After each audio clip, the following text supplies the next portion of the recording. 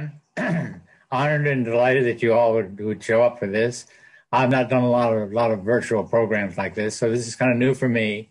So um, so we'll see if we can work out work through our technical difficulties. And um, and uh, since this uh, the organization that's sponsoring this is from Florida, the plants that I'm gonna I'm gonna lean towards southern plants. And um, and I should mention I have early stage of Parkinson's disease, and when I get excited, like when the idea of talking to a bunch of bunch of bunch of kindred spirits and interested folks. I tell you, I start I start shivering a little bit. This this left hand really wants to join the fun, and um, so you just kind of bear with me on that. I think we'll be we'll be fine here. So let's let's maybe we'll go on to the first slide here and see what we can do. Let's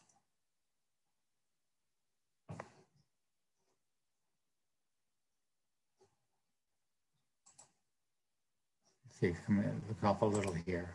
Oh, there we go. So there we go. We're going to talk about Florida and interesting plants in the deep south. We need to talk about Spanish moss. Now, Spanish moss is not really a moss and it's not from Spain, but other than that, you can say it's well named. you know, it's actually, Spanish moss is actually a flowering plant in the pineapple family. And I'll show you if about around May and June, you're around Spanish moss. So let's see. So how do we get this to go? May and June, look in, look in the Spanish moss and you'll see it has these little, little greenish yellow flowers, little three petal flowers. And it's actually a flowering plant.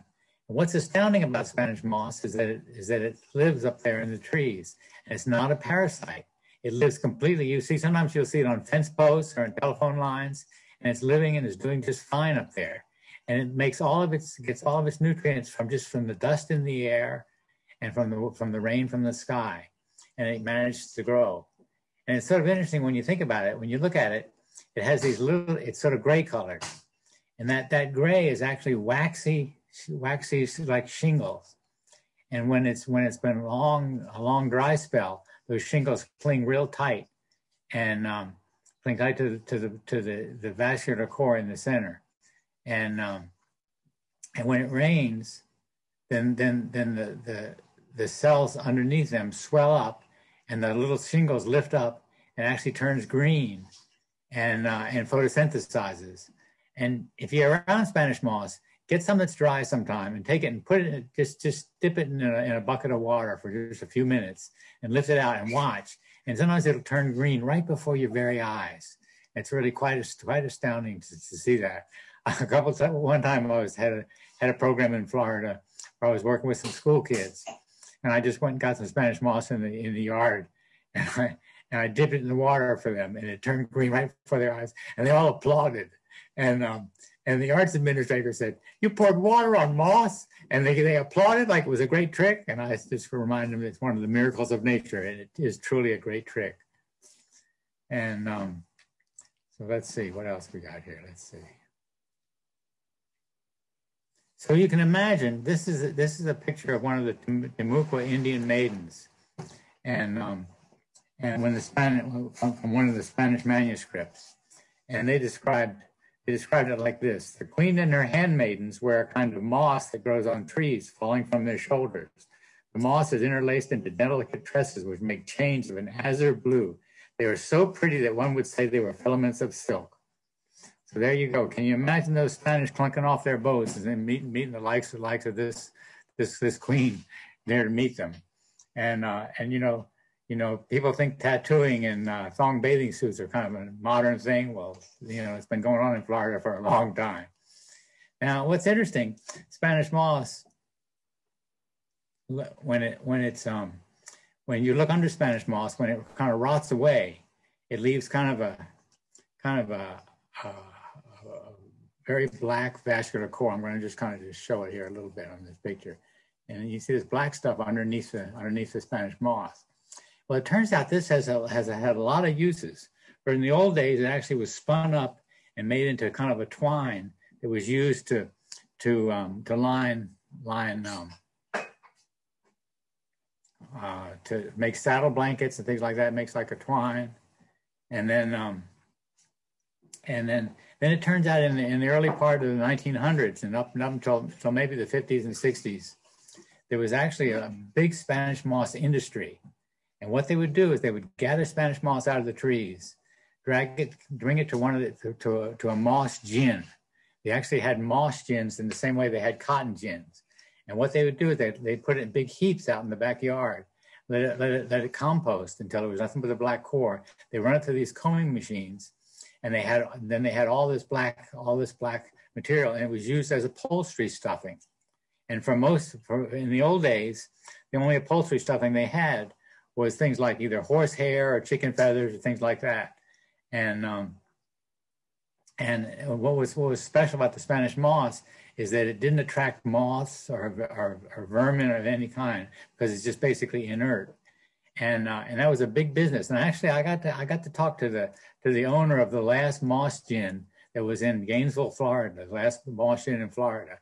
And he talked about how how what, what put him out of business basically was um, was foam was was the foam that's used for for upholstery stuffing now, and he said that for a while they were actually selling it to um, fishery to, to, fish hatcheries because it would be a good place to deposit fish eggs, and they were using it as as for steamships and battleships. They use it for their water filters, and uh, eventually it just kind of faded away but it's sort of amazing to think about that. And sometimes, sometimes I've even been like in an old barn one time and I saw an old stuffed chair with some of the upholstery sticking out of it. I looked and sure enough, actually I was up in Canada and there it was Spanish moss. I could see the see that inner core.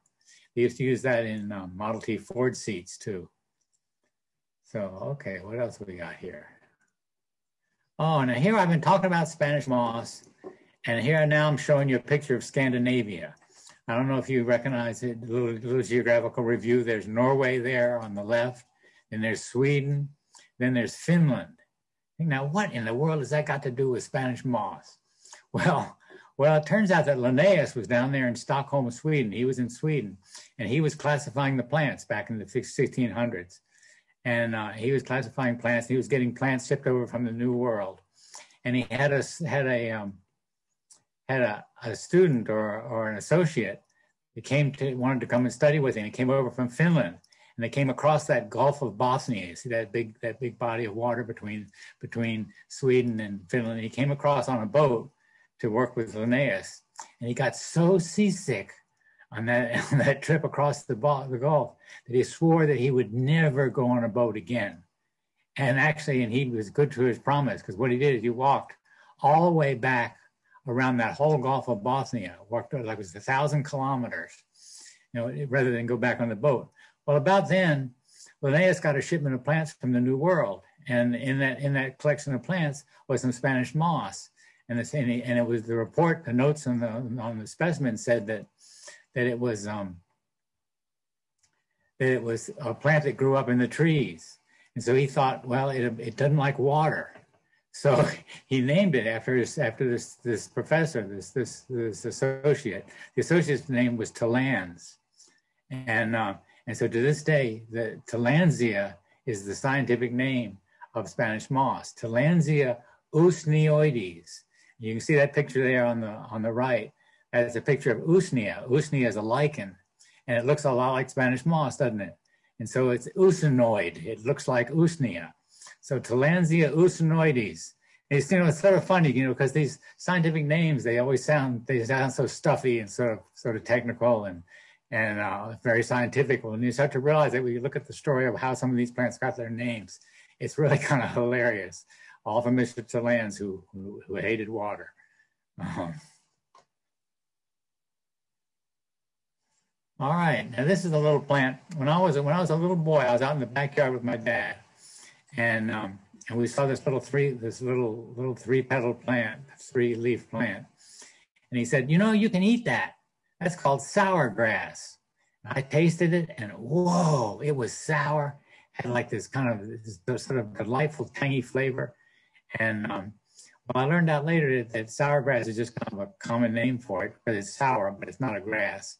Its its proper name is wood sorrel or oxalis, and that that acid that makes it taste so sour is um, is is called oxalic acid because it was first found in this plant, and and it's the same thing that makes rhubarb taste sour.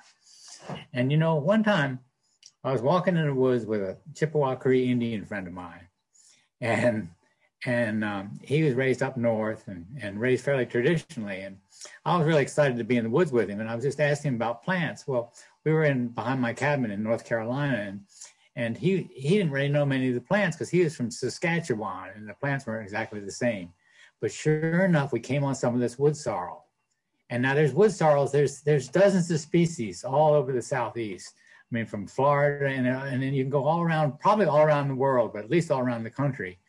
And you can go out in west under the redwood trees. There's a big redwood sorrel. You can go out in the desert and in, between the sidewalks in San Diego, and you can see you can see little wood sorrels that grow out there. Lots of different species of them. Some have pink flowers, some have yellow, some have white. Well, I showed him that. I said, "How about this plant? Do you know this one?" He goes, "Oh yes." He said, "I've gathered baskets full of that." I said, "Baskets full of that? What would you do with a basket full of wood sorrel?" He said, "Well, if you're along the trail you're picking wild greens and you want to make a salad out of those greens and you don't have any salad dressing, you take some of these leaves, they're sour, you chop them up and you mix them in with the salad greens. It's like you sprinkle vinegar on it. And, uh, and I said, Oh, I see. Yeah, I know. This sure is sour tasting. He said, I said, What do you call this plant? And he said, Well, we call it something, we call it. Well, of course, my next question would be, how do you, how do how do you translate that? Well, you know, he'd never had to translate that before. And I could see him kind of working it out. Kasya tawaso. He says, means it's all there. He says, he shrugs his shoulder, goes, wonder why we call it that. We go wandering down the trail and, and um, a little while later he goes, oh, I know why we call it it's all there. Because we consider six to be a representation of completeness. The four directions, the six directions, north, south, east, and west that's the six directions, north and south, east and east, north, north, south, east, west, sky, high and uh, above and below. And um, he said, well, you look at this plant, that's how it represents completeness to us. But you look at this plant, only has three leaves. Then you look a little closer and you realize that each of those three leaves has is divided into two. And so the six is there. And so he says that plant, we call that it's all there because we think that plant is a plant that's there to teach us that if we look deeply enough within our own selves, we see that we too are complete beings. And that's what that plant is there to teach us. And I thought, that's what that plant is there to teach us. And I started looking around at the trees and the bushes around me, saying, what are those plants there to teach us? And you know, we're not really raised in a culture where every being that shares the earth with us is known and assumed to have a teaching or a lesson. But this kind of reminds us that it's all there. We can just just squint our eyes or open our hearts, we might actually actually be able to understand all that. So it's sort of amazing to me to think about what a, the lesson that a small little plant can taste, it can, can teach, and it tastes so good too. All right, and there you got sassafras. I can remember my grandmother going up to me and when I was little and showing me, she said, you can tell sassafras because it has three kinds of leaves. Right there in the center of the picture, you can see it has a mitten-shaped leaf, has a three-fingered leaf, and a regular round ovalish leaf. And that's one of the ways you can tell sassafras. Now, sassafras has been long used as an original flavoring for root beer. And, um, and when you smell the roots, it smells just like root beer. You can make a really good tea. The tea has been long used as a, as a traditional spring tonic. And then sort of this sort of controversy started up because because in the um, in the late 60s, early 70s, when all of a sudden these health food stores that used to just sell bottles of pills started having these shelves full of herbs.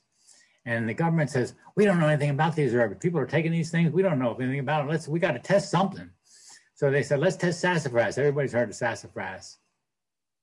So they sent it off to some scientists in, in, um, in Rutgers University. And they were, they were, they were biochemists and they extracted the oil from the sassafras, and then they extracted a compound from the oil called safrole. They fed the safrole to rats, and the rats developed liver cancer.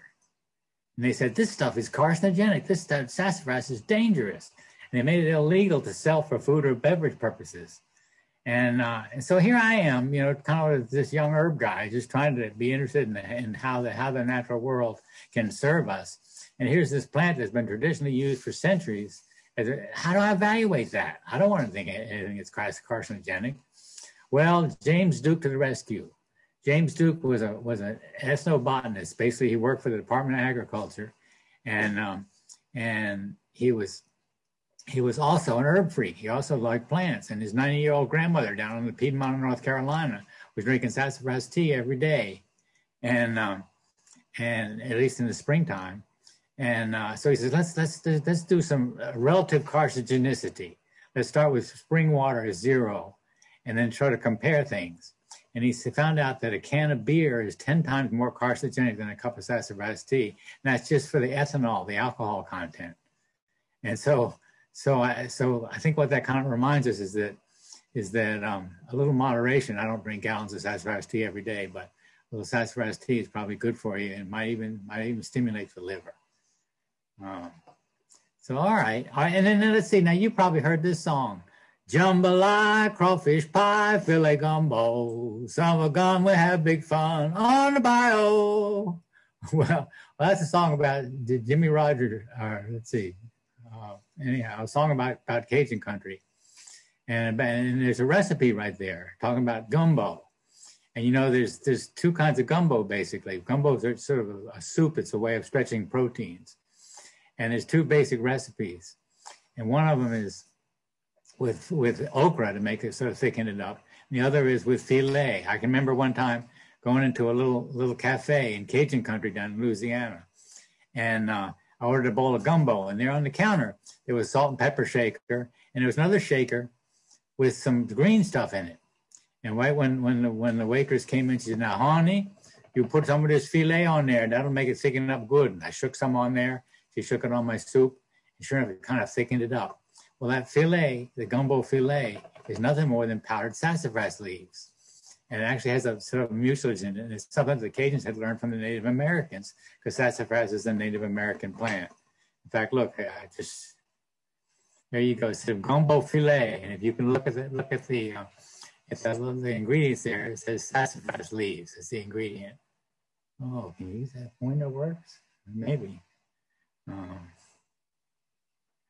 all right, now here's a plant. It's kind of interesting. This is called poke, pokeweed or poke salad. And um, I can remember one time I was talking to, to one of these back to landers of my generation. He, he, we moved back to West, West, West Virginia. And one of our neighbors showed us, he said, pointed to this plant, says, that's poke salad, you can eat that. He said, well, we took that, we took that poke, we made a big old tossed salad out of it, we ate that, and we were throwing up for days. But what he didn't hear was that the old timer was saying poke sallet, not salad, S A L L E T. And sallet is an old word meaning a cooked green. And pokeweed is edible, but it's interesting because pokeweed is listed as edible, it's listed as poisonous, and it's also listed as medicinal, which kind of reminds us in some ways that the difference between food, medicine, and poison sometimes sometimes is, is just a matter of dosage. Well, when, when poke is considered to be edible, it's in the spring of the year Oh, let's see if I'm going. Can you make it go? Spring of the year when it just first comes up out of the ground, and um, and you take the take the poke. In the traditional recipes, you take the poke weed and you boil it in, in some water. Throw the water off. Boil it in three different changes of water. Now, a lot of us we're kind of like health food freaks, and we know that we cook turnip greens and different kinds of greens. A lot of times, what we want to do is save those that, that juice. That's the pot liquor and it has a lot of the nutrients in it. But in the case of pokeweed, pokeweed does have some toxins in it. And this is one of the ways to dispel the toxins. And um, and and you know um, the, the great the great um, swamp rocker Tony Joe White um, in the early '60s. Well, he, he was raised in in North Louisiana, and he was a sharecropper's son, and um, and they lived they lived kind of back in the country, and there was a family lived down the road from them, it was pretty dysfunctional. And they were pretty much held together by their by their family by, by this one teenage girl. And she would come around and, and they'd let her go and gather the pokeweed from around the edge of their garden plot. And she took it back and just from the food that she foraged she was actually able to able to kind of keep their family together. And he wrote a song about it. And the song actually hit the top 40s it was actually covered by elvis presley and actually i've covered a little version of it here myself and um, And so I thought maybe we'd just do a little version of it here, just to get this to kind of hear about it here. It goes something like this. Poke salad Annie, Gator got your granny. Everybody thought it was a shame, but her mama was working on the chain gang. Me and Vision Woman now. We're talking about high Southern culture here, right? Down in Louisiana where the alligators grow so mean. There lives a girl, I swear to the world, she makes some alligators look tame. Poke salad Annie, Gator got your granny. Everybody thought it was a shame, but her mama was working on the chain gang, mean fierce woman now. Every evening about supper time, Annie come down to my truck patch, pick herself a mess of poke salad, carried on home in a tow sack. Poke salad, Annie. Gator got your granny. Everybody thought it was a shame, but her mama was a working on the chain gang, mean fierce woman now.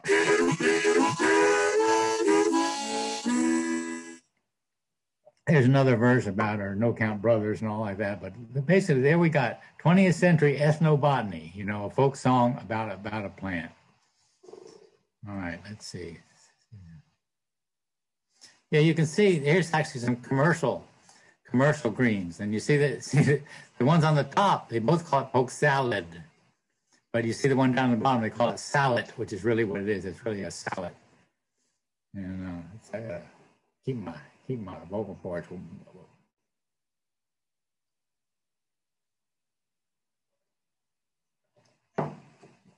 All right, let's see what else we got here. Oh, and here's here's a plant that's kind of kind of fun. This is called lamb's quarters, and um, lamb's quarters, Chenopodium album. At least that's the one on the left. Lamb's quarters is one of the highest natural sources of, of uh, vitamin A and in almost in almost any rich garden, it'll come, it'll it'll sprout. A lot of times, a lot of times you don't even have to plant it. It's just the seeds are just there in the ground, and if the soil's rich, it'll produce. And then lately, or, or a few years ago, we we found some some lamb's quarters that was purple in the center, the one on the right. And we thought it basically was just a color variation. It turned out it's actually a different species. It's called it's called Chenopodium giganteum because it really will grow like six or eight feet tall. And um, and and sometimes now in the garden catalogs, you can see the seeds are actually sold. It's called magenta spreen, and um, and uh, it's it's it's a delicious green. It does have some some calcium oxalate in it, so it might be best to throw off the water the first time you cook it. All right, now here's here's some bark baskets, and this is a little sideline of mine. And I learned how to make bark baskets from an old mountain man. I, was visiting him one time, and he said, I saw these baskets hanging on his porch. I said, Paul, these things are beautiful. What's the story on these? He says, Why, buddy, them's berry baskets. I said, Berry baskets? He says, Yeah, we make a loop on either side and tie a string around them. You can hang it around your neck, and you can you can pick them. You can you can uh, use both hands to pick your berries. And uh, well, I got so interested in them; they were so beautiful. And so now I think right here, I'm going to try to try to try to show you how what I learned from him.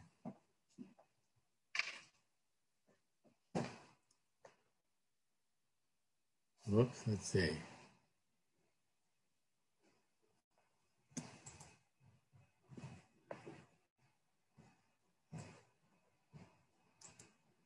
Oh yeah, there's there's a larger picture. So this this will this will show you a little better here. So what he said, he said, say you're out in the woods somewhere and you find the awfulest sight of huckleberries or blackberries that you ever saw. Well, you're eating a bunch of those berries, but you'd like to take some home. Well, what are you gonna what are you gonna do if you don't have anything to carry them in? He said with a twinkle in his eye. he said, he said, if you know how to make your bark basket, what you do is you find you a little poplar tree, little tulip poplar tree. Let's see how I can back here and make this so you can see it. Little tulip poplar tree. And what you do is you cut around it on the top in the bottom, and then you, then then if it's during the growing season, you can actually peel the bark off the tree.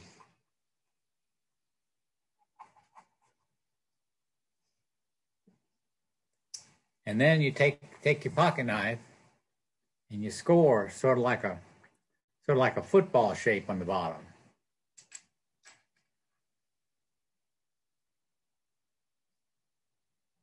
Then it gives you a place you can fold it. And you can fold the basket up.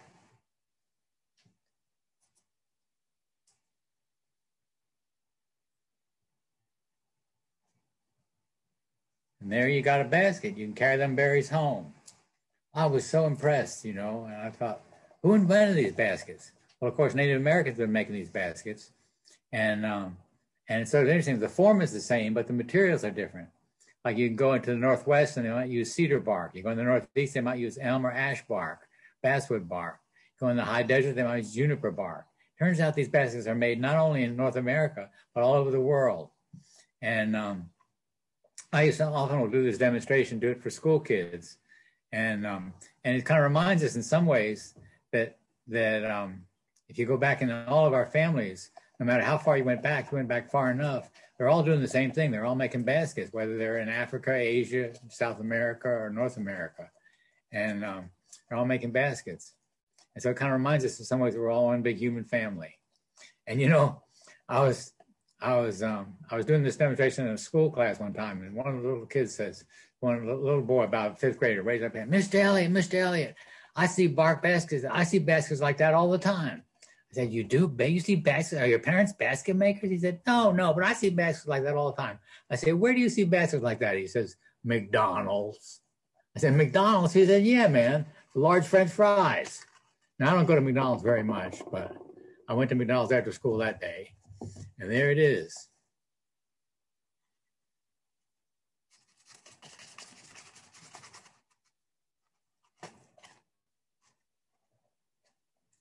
There it is. As old as your oldest ancestors, as modern as modern industrial design. The most efficient way to make a container out of a piece of flat material is this ancient yet modern design. And I look on the bottom of the box, you know what it says? The design of this box is a registered trademark of McDonald's Corporation. Don't you think they're a couple hundred thousand years too late on that?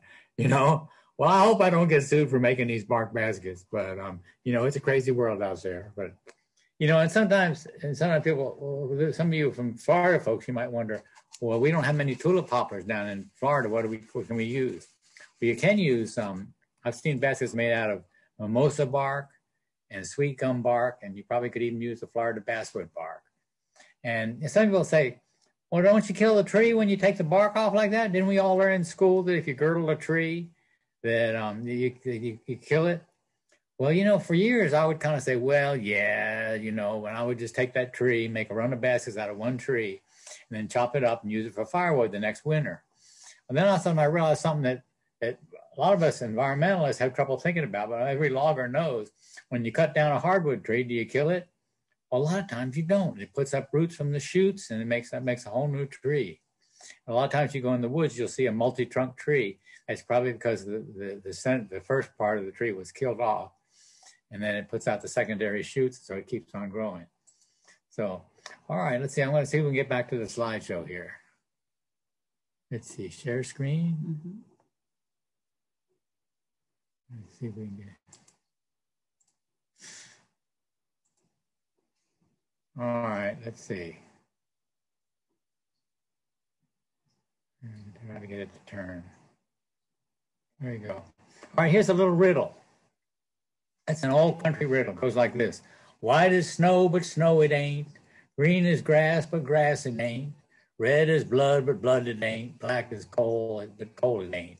What is it? Well, can you guess what it could be? How about a blackberry? Let's flip to the next slide.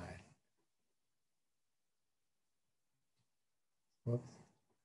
There it is. White as snow, the blossom, right? White as snow, but snow it ain't. Green is grass, the little green berry forming, the green leaves forming. And then uh, then red is blood, but blood it ain't before it gets ripe, just before it gets ripe. And then there it is, black as coal. And um, and a blackberry, you know. So um, there's actually a little a little ditty that goes about blackberries. It goes like this. An old country country saying goes like this: A blackberry is red when it's green. How can that be? Well, when it's green, when it's green, it's not ripe. When it's not ripe, it's red. So it's red when it's green. I love that, you know. But it, but it kind of, it kind of, um, end so abruptly. And I called my friend Carolyn Jones. She's a master of doggerel and a berry farmer. I said, can you do anything with this? A blackberry red when it's green. She called me back, said a little later, a blackberry is red when it's green, a blueberry is ripe when it's blue.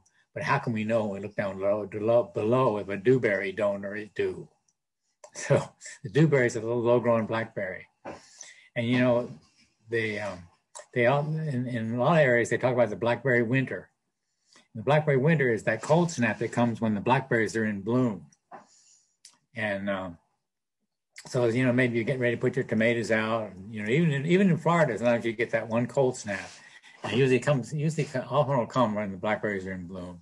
So you think, do I put my put my frost sensitive plants out yet? Well, you might just wait, just to get the weather to change a little bit. The blackberries are in bloom. You hear about a cold front coming in. You might just wait a couple more days and let that cold front blow through before you put your tomato plants out. And um, and the great the great anthropologist Margaret Mead titled her autobiography Blackberry Winter, and she wrote a little invocation in the front of the book that says, uh, "Often said that blackberries aren't sweet unless frost has touched their bloom." And you know, I think she's speaking metaphorically. You know, when frost touches our bloom, we hope we get sweeter.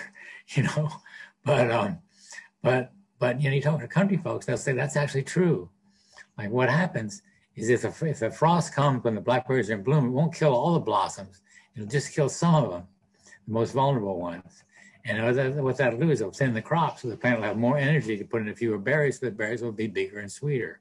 So it's just kind of fun how it all turns around. And and you know, I came, I gave him this talk here. I came to, I kind of wanted to boogie a little bit. And, and I thought maybe we could boogie. There's a song called the Blackberry Boogie. It goes something like this. Blackberry boogie, blackberry boogie, blackberry boogie, I'll meet you in the middle of the patch. Along about sun up every day, grab my basket, I'm on my way. I run down the road just laughing and kicking, heading for the patch and do some blackberry picking. Fill my basket up to the top, makes my lips go flippity flop. Flippity flop. I hear a little voice and it sounds so sad. It says, Don't pick me now because I ain't ripe, Dad. Blackberry boogie. Blackberry boogie. Blackberry boogie, I'll meet you in the middle of the patch. I went to see my gal. I set my basket down. She says, Hey there, baby, are you going to town? I said, Uh uh, honey, I'm going with a scratch. I'll meet you in a minute in the blackberry patch. She grabbed her basket. She jumped in and squealed. I'm heading for the bushes and she's hot on my heels. Well, I picked on one end, she picked on the other. We met in the middle and she yells, Oh, brother, Blackberry Boogie. Blackberry Boogie. Blackberry Boogie, I'll meet you in the middle of the patch.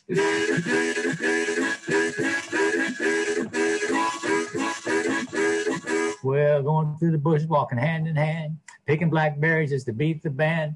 I grabbed her for a kiss. She said, Turn me loose. Your lips are all blue from that blackberry juice. I said, Come on, honey, now don't be coy. Don't you know I'm your blackberry picking boy?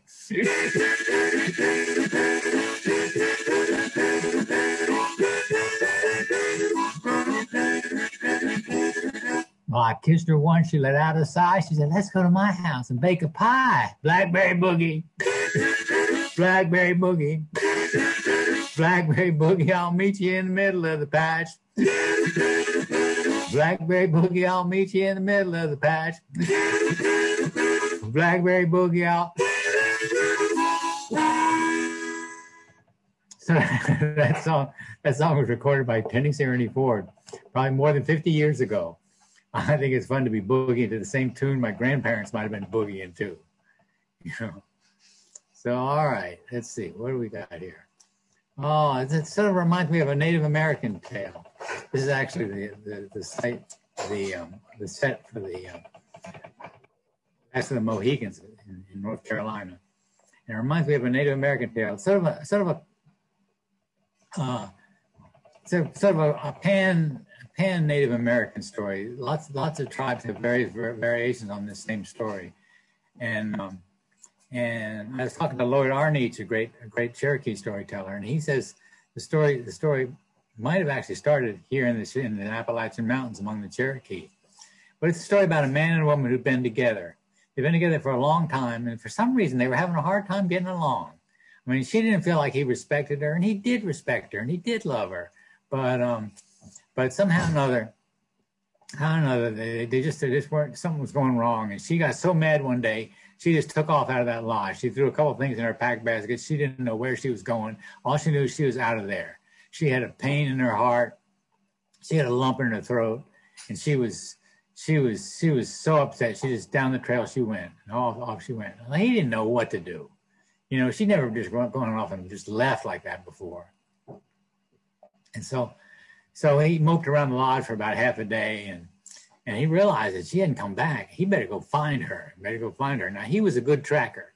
He could he could follow the most subtle animal signs, and he had no trouble following her her her tracks. He could tell by the way her heel landed in the ground that she was that she was stomping mad, and how far apart her footprints were. She was moving fast. So he he jogged down the trail for a while trying to catch up with her, and every time he'd see a set of her tracks, he realized that he had not closed the distance between them. He couldn't seem to close the distance between them. So he sat down in the trail and he prayed. He had a conversation with the powers. And he said, You don't have to make her change her mind, but could you just slow her down a little bit so I could talk to her? And, uh, and it seemed like maybe his prayers were being heard because as she was walking along the trail, the breezes in the trees just were whispering and whispering, kind of whispering her name. And then she didn't hear any trees. She was just so mad. She was just walking down that trail. She was so upset. And the birds began singing, singing harmonies and melodies like they never sang before. And they were actually calling out her name, but she wasn't listening to the birds. She was just so upset. She was just walking down that trail. She was so, oh, she was so angry. And, and then flowers began bursting into bloom right beside the trail as she was walking by. She didn't see any flowers. She was looking straight at that trail leading out of there. She wasn't paying any attention to the flowers. She was just mad. She was just stomping down that trail. She was looking straight down the trail, and all of a sudden, you know, she was going to take special intervention. And sure enough, as she was looking down the trail, she saw something bright red caught her eye. She looked down, and it was a berry, but it wasn't like any berry she'd ever seen before. She picked that berry, she sniffed it, smelled so good. She tasted it. Oh, fragrant, delicious. Oh, sweet, tangy. Oh, she ate that berry. Oh, it was so good. She hadn't stopped to rest the whole time. Her throat was getting sore. She was getting kind of dry. And she looked around. She saw a couple more berries. She ate those berries. Then she could, thought she couldn't see anymore. And she looked. She was at the edge of this little clearing. And out in that little meadow, there were all these, these berries. She started picking those berries, eating those berries, and that juice trickled down her throat, started to kind of melt that lump in her throat and soften that hard spot in her heart. And she she heard the breezes whispering in the trees. It sounded so soothing and so sweet. And the birds were singing, calling out. Oh, they sound so good. And the flowers just everywhere. And she looked up, and there she saw her husband.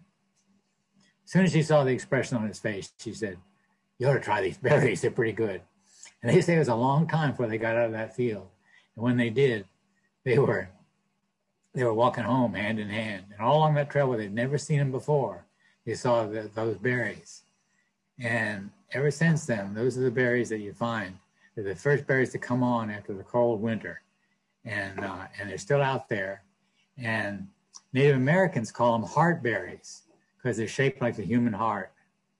And uh, we call them strawberries because we plant them with straw. And, uh, and that's how the first strawberries came to be. This story is old as the people and as modern as today, isn't it? little, uh, so for, for many years, I actually made my living as a traveling herbalist. And I had, a, I had a whole display, and I would go to folk festivals and traditional music festivals. And in some ways, that was my classical education because, because there'd be all these old timers and all, all traditional people that knew different lots about, about not only old music, but they also knew about, about, about folk life, about living, about living close to the land. So often that became my, my classical education because these people, anyone who had anything to say about herbs would come and talk to me. And they come and look at my herbs and ask questions and, and, and, and invariably tell me things. Well, one time I was at a, at a big folk festival and uh, I got to meet Bessie Jones. Now, Bessie Jones was played with a group called the Georgia Sea Island Singers. And basically, she would just bring whatever members of her family or her church congregation wanted to come and she'd bring bring them bring them to the, these folk festivals and play just a tambourine. All she played. She played these old spiritual songs that would just just would just lay the audience low with the power of her, her voice and her singing, and and the, the group that she'd be with. And uh, and I remember one time I was there at my booth with all my herbs, and all of a sudden I hear this booming voice. You know, here's something I like. Yes, sir. I gets all my medicine out the woods and the fields. Yes, sir. I ain't had no doctor medicine since 1943. And uh, yes, sir. Yes, sir. And then and next thing you know, she's up here, up there, looking looking at all my all my plants and getting, what's this? What's this? I was trying to talk to her about these plants, and of course, I had different names than she did for some of the same plants, and and um, and uh, so so I, I got I got talking to her. She lived on on St. Simon's Island, and I asked her. I said, sometimes I get down in the deep south there. Can I come visit you sometime and we can talk more about plants? And she gave me her number and all that. And so sure enough, I came to visit her. And we were when we were, we were standing out out back of her yard, the edge of, edge of her green patch, there was this little plant. This plant that many of us know as horse nettle or bull nettle or or Solanum carolinianum and as it, you can see it's in the, it's in the tomato family as like a tomato blossom, but has these little thorns all over it. And I said, Bessie, what's that plant there? She said, oh, that's called tread softly. I said, what? She said, tread softly. Tread softly. I if you're barefooted, you want to tread softly around that because that plant has a lot of prickles in it. I said, can you do anything with that? She says, use it for, ba- for babies when they're, when they're teething. Well, you know, I was in my 20s then. I didn't know anything about babies. And she, you know, but because she told me that, it just stuck in my head. And many years later, I was at a primitive skills event, one of the one of the River, River Cane rendezvous. I got to meet Walker Calhoun. Walker Calhoun was a Cherokee elder. And uh, we were sitting at the edge of the clearing there, and there was that plant. I said, well, Walker, um, do you know what to do with that plant? You know that plant? What's that? Yeah, that's called, we call that bullweed, he said said, bullweed. I said, he said, yeah. I said, can you do anything with it? He said, yeah, for babies, for babies when they, when they slobber. well, well I knew a little more about babies then. I knew that when the babies drool a lot, that's when they're teething. I thought, hold it. Now here's this African American woman years ago who told me about using it for babies when they're teething. And here he is telling me the same thing, a Cherokee elder. And I thought, well, Walker, how do you do it? He said, take pieces of the root, you put it on a necklace around their neck. I said, do they chew on it? He said, no, might be poison. well, well, I was I was kind of amazed because it actually is in the solanum family. And you know, the solanum family has lots of wonderful plants that we use every day. Tomatoes, potatoes, eggplants, peppers, they're all in that family, but there's also a lot of, a lot of poisonous plants in that family too, the Jimson weed and and some other plants like that. And um, and so I thought, well, let me go let me go talk to some of the women and see, get the real story here. So I ended up talking to Gail Thrower. Gail Thrower was was a, an elder in the, um, the Poarch Creek tribe out of Alabama. And I asked her about that. And she says, Oh, that's right. She said, Yeah, the, the, the older women told me about that. They, I said, What do they call it? They said, She said, Well, they call it thread sass. I said, thread sash? You mean like sewing thread and sash like sassafras? She says, well, that's what it sounded like to me. And I said, well, how do they use it? She said, well, they put it on a little neck. They put, they put the little pieces of the root on a necklace and wear the necklace around their neck. They put it around the baby's neck. And, I said, and she said, tight enough so they can't get it in their mouth. And um, so I thought, now what's that all about?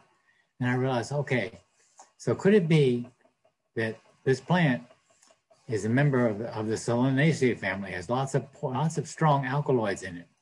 And could it be that the babies, when they're teething a lot, the, the saliva drips down on the on the little piece of root, moistens the root, and a tiny amount of some kind of a sedative or painkiller or some, some something that makes the effect. Well, you know, in the old days, they used to give you Dramamine for seasickness. Now, what they do, they give you something called a scope patch. You put it on your temple or behind your ear. And it's, it has the scopolamine patch. Scopolamine is one of the ingredients that's in, that's in um, various members of the solanum family. And it's, and it's transdermal. And so it could be that maybe that's how, how that remedy works. I've had requests from it for, for that plant for those kind of things. And I thought that name thread sass, that's strange. And then I was talking to this wonderful, wonderful South Carolina friend of mine, Jimmy Cooley. And Jimmy Cooley says, Oh, yeah, Daddy always talked about that. He called it tread saft. Tread saft. Saft is kind of the old timey country Appalachian way of saying soft. They kind of flatten the, flatten the all sounds of ah.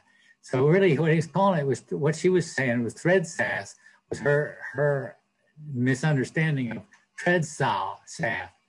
And tread saft is just like Bessie said, tread softly. So it just it took me on an amazing journey to think about how these plants work medicinally. And I met, met a lot of interesting people talking about it.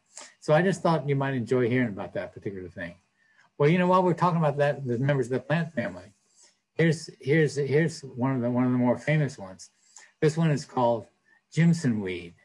And it's in the member or thorn apple, you can see the seed pod. And um, actually, you know, this this picture this picture I, I, caught just in the it's, it's of a night bloomer. I caught just in the in the early evening it just was blooming. Actually, in North Florida, I took that picture. Eventually, it ended up in the uh, Peterson Field Guide to Medicinal Plants. So it's just kind of fun how you never know where where, where these pictures will end up. And um, so so a little more on that Jimson weed story goes something like this. This is this is uh, Robert Beverley's History of Virginia. It was written in 1705 and what he reported on was some soldiers were there to quell Bacon's rebellion in the Jamestown colony. And they didn't have meals ready to eat like they do these days. And these guys were kind of hungry. And there were some greens growing around the edge of the garden, edge of the, edge of the, of the pasture. And they got these greens and they cooked them up. And this is what Robert Beverley reported. This being an early plant, they got it very young for a boiled salad, right? Like some of the soldiers sent hither. Some of them eat plentifully of it, the effect of which was a very pleasant comedy, for they turned natural fools upon it for several days. One would blow up a feather in the air, another would dart straws at it with much fury. Another, stark naked, was sitting in the corner like a monkey grinning. A fourth would fondly kiss and paw its companions and sneer in their faces.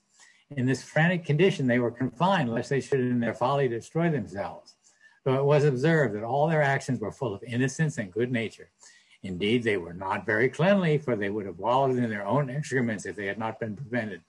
A thousand such simple tricks they played, and after 11 days returned to themselves again, not remembering anything that had passed.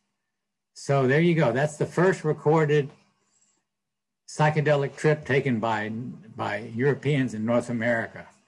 And ever since that, they call that plant Jamestown weed. And now that's been corrupted. Now we call it Jimson weed. That's how it got the name. So it's kind of, a, as you can see, kind of a dangerous plant. 11 days, those guys were out of it. And, uh, they, and I don't recommend anyone fool with it in terms of anything taken internally because, because um, there have been fatalities associated with just that kind of foolishness. So those guys were lucky. They got away with unscathed. So let's see. Well, let's see. We're getting towards the end of this little program here. Let's see. I you, you, saw my, my, my herb setup. And I used to travel around this Volkswagen bus with this with this canoe on top, so I could I could pop the canoe into any swamp or or river that I wanted.